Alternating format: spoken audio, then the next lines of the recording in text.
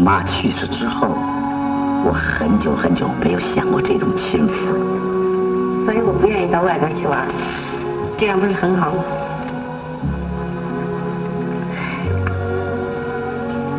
这几年来，我幸亏有你这么一位朋友。我要是没有你这么一个朋友，我也很寂寞。秋欢，他说我年轻几岁，我一定希望永远和你在一起。